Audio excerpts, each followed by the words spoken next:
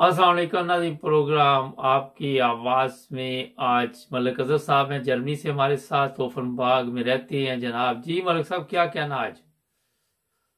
जी बादशाह सलाम आपको जैसे कि शायद दोस्तों को पता चला कि नहीं चला ये घुघियाट में एक हमारी मस्जिद है और ये बहुत पुरानी है तकरीबन ये सौ साल पुरानी है मस्जिद हम्म, ठीक है? जी। और इस मस्जिद को जो था वो नाइनटी सिक्सटी में जो है वो नई बनाई गई थी ठीक है? अच्छा। और जारी बात है मराब और मस्जिद मीनारे सब कुछ हमारी मस्जिद के थे। तो आज जो है वो बड़े अरसे से जो है जो मौलवी हजरात वो तंग कर रहे थे। तो आज डीसी जो है उसकी सरबराही में बकायदा तौर पे वो आए हैं और उन्होंने एक मस्जिद के बिल्कुल सामने ये लिख के लगा दिया है कि ये मुसलमानों की मस्जिद नहीं है ये कादियानी जमात की इबादत गाह है। अंदाज़ा करें कि इनको हमारी मस्जिदों से भी डर लग रहा है कि ये उसके ऊपर लिख के लगा दिया है। हालाँकि वो मस्जिद का दरवाज़ा अंदर की तरफ़ है। कोई उसकी तरफ़ जा भी नहीं सकता। गेट बकायदा बाहर लगा हुआ है। उसके अंदर जितने भी घर हैं वो सब जमाते हमारे आमदियों के हैं ठीक है? तो इनको जो है वो बेजान चीज़ों से भी डर लग रहा है। जो हैरानगी की बात है कि इनके ईमान को इतना खतरा हो गया। नहीं तो ये कब से सिलसिला चल रहा है वहाँ पे?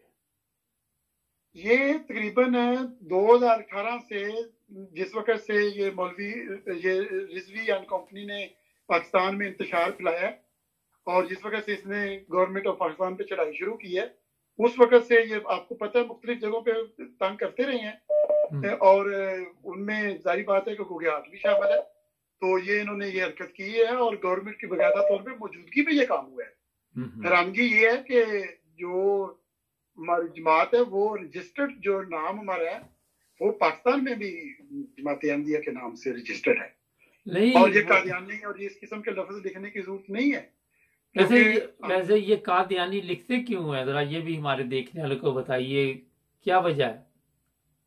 ये असल में इनको अंदर से हसरत तकलीफ़ और वो उठता है अंदर से क्योंकि मैंने जैसे कि आपको पता है कि दोपहर को भी एक प्रोग्राम हमारा हुआ था उसमें बताया था कि इनको खुशी होती है किसी को तकलीफ़ दे के। तो ये बहरहाल इस्लाम की तालीम तो नहीं है कादियानी तो जो कादियान में सिख रहते हैं वो भी कादियानी है।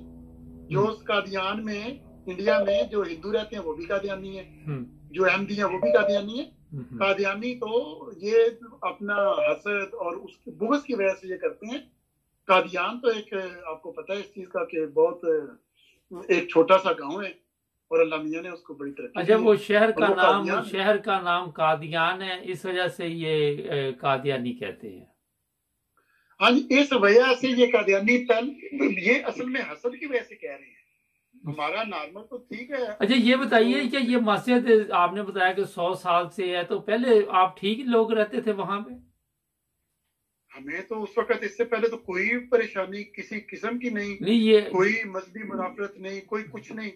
जो अहमदी हैं वो दूसरे लोग वो आपस में मिलते जुलते थे। भी जाके कब्रों के ऊपर से इन्होंने कतबे जो हैं वो इन्होंने तोड़े हैं बकायदा तौर पे ग्रैंडर चलाए हैं और जिस पर जगह पर मोहम्मद का नाम लिखा हुआ था अस्तगफुरुल्लाह उनको बकायदा तौर पे इन्होंने उसके ऊपर पेट मारा है और इन्होंने कदमों को थोड़े मारे हैं और वो बकायदा तौर पे आप उसको नहीं तो तो जब ये सब कुछ होता है तो वहाँ पुलिस वगैरह नहीं मदद करती किसी किस्म की सर?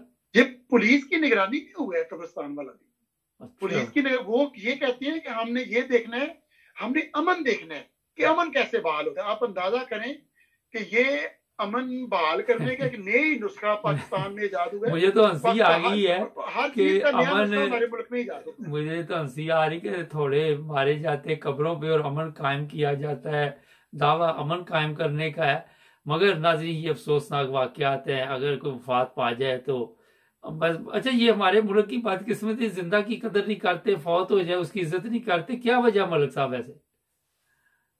ये इसकी वजह वो एक ही है ना। असल मामला ये है कि ये इस्लाम से बहुत दूर जा चुकी हैं। देखिए अलैहि वसल्लम ने तो प्यार और मोहब्बत की तालीम दी थी। हम्म। उन्होंने बाकायदा तौर पे जो गुड़िया रसूलुल्लाह सल्लल्लाहु अलैहि वसल्लम पे कूड़ा फेंकती थी जब वो बीमार हुई है तो उसकी दवाई वगैरह हर चीज़ का इलाज और उसका मुकम्मल जब तक वो शिफान उसको नहीं मिली उस वक्त तक उनकी तीमारदारी करते रहे और बाकायदा तौर पर खिदमत करते रहे। उस हम्म। बुढ़िया का क्या कहते हैं सामान उठा के भी एक ही गए थे। अच्छा एक एक सवाल है। मलिक साहब पहले जिस तरह आप बता रहे कि सौ साल पुरानी मस्जिद है ये तो आप लोग इकट्ठे पहले रहते थे आपस में मिलते जुलते थे? ये उस जगह पे मस्जिद मौजूद है कि इस जगह पे पहले हमारी एक ना कुआँ होता था अच्छा। ये हमारी अवान फैमिली की जगह है। तो उस जगह से सब अहमदी और गैर जमात हमारे जो बहुत प्यारे और बड़े अच्छे दोस्त हैं अहले सुन्नत वाल जमात अहले तशी सब लोग उधर आके वो पानी भरते थे, बड़ा ठंडा और बड़ा मज़ेदार और बहुत मीठा पानी होता था। और आज भी वो यानी कि उसी जगह पे हमारा नलका वगैरह लगा हुआ है, बड़ा मीठा और बड़ा शानदार पानी। और वो सब लोग हमारे गाँव के इस जगह पे बखुशी आते थे, पानी भरते थे हमारी बेटी थी साहब। बैठ के इन्होंने खाना खाना, गप्पे लगानी, हुक्का पीना, और वो क्या कहते बड़ा शानदार और बड़ा प्यारा माहौल था। अच्छा ये बताइए कि जब बड़ा प्यारा माहौल था तो ज़िंदगी भी अच्छी गुजर रही थी तो जब से ये नफरत फैलाई गई उस वक्त से खुद भी परेशान है दूसरों को भी परेशान कर रहे हैं? मामला फिर मुबारक साहब वही आ रहा है कि असल में इस्लाम से ये लोग बहुत दूर जा चुके हैं। हम्म। अनपढ़ किस्म के लोग उस जगह पे हैं। मैंने आपको पहले बताया था कि उस जगह पे एक जो है उसका नाम है याकूब। ठीक है हम्म। उसको बचपन में लोग कुबू ढूस कमांडर के नाम से पुकारते थे उसका मज़ाक उड़ाते थे हम्म। वो आर्मी में था उधर से आके वो खुसरों के ऊपर पैसे वगैरह लुटाता था फेंकता था नाचता था अजीब अजीब उसके काम थे ढोल लेके नाचना यानी कि पैसे फेंकना यानी कि अयाश किस्म का हम्म। और इस वक्त वो पूरा जिला सरगोदा का जो है वो तरीके लबैक का जो है वो ए, क्या कहते हैं कि सरबराह है इस वक्त। पूरा जिला सरगोदा और वो इसी कर रहा है क्योंकि उसने इलेक्शन में खड़े होना हमारी हमें जो इतला मिली है। वो इलेक्शन में खड़े होने के लिए सब ड्रामे करते हैं नहीं पर इलेक्शन में खड़े होने के लिए किसी की मस्जिद या किसी की कबर को तकलीफ़ देना ज़रूरी है?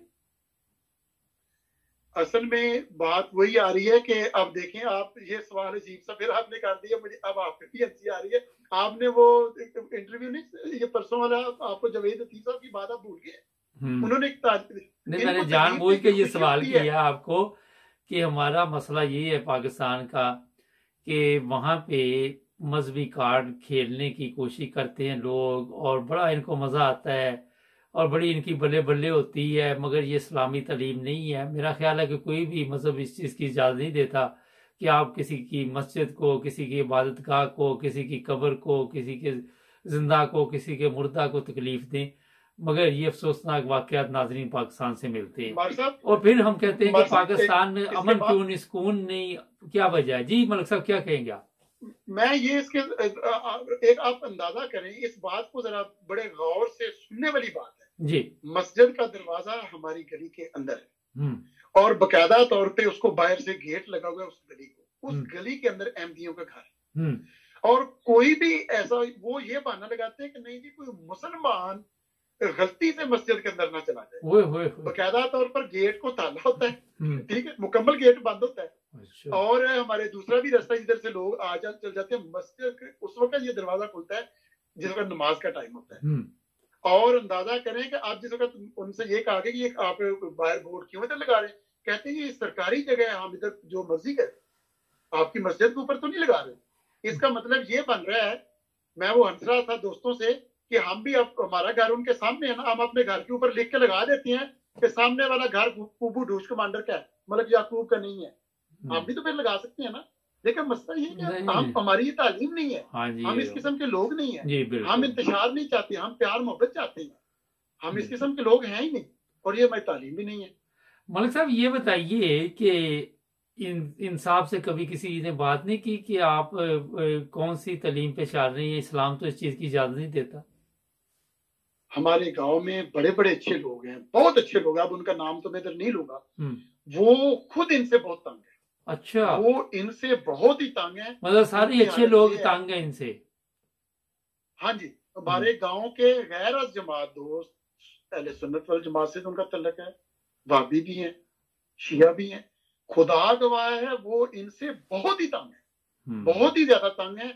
इसकी हालत ये है कि मुझे दोस्तों ने बताया उस बेचारे की वालदा बीमार थी और रात को तकरीबन दो बजे के करीब ये जो है उधर कुरान करीम लगा देते हैं ऊँचा ऊँचा बात तर्जमा हम्म। रात को जिस वक्त डेढ़ दो बजे आप ऊँचा कुरान करीम लगा दें फुल स्पीकर इसने रखे हुए बड़े बड़े और उन बेचारों ने रेस्ट कैसे करनी है हम्म। वो कह रहा था यार मेरी माँ बीमार थी उसको दवाई दी थी कि ये रेस्ट कर ले रात को सोने के लिए तो इसने इतना ऊँचा पुरानी क्रीम लगाया हुआ था कि हम पूरी रात बहुत शुक्रिया मलिक साहब टाइम खत्म हो गया फिर भी प्रोग्राम आपसे चलते रहेंगे अपना ख्याल रखें नाजरीन, ये मैं बता दूँ कि कुरान मजीद बहुत प्यारी किताब है और ये हदायत के लिए और उसी में लिखा हुआ है कि किसी को तकलीफ़ ना दो, किसी का हक ना मारो।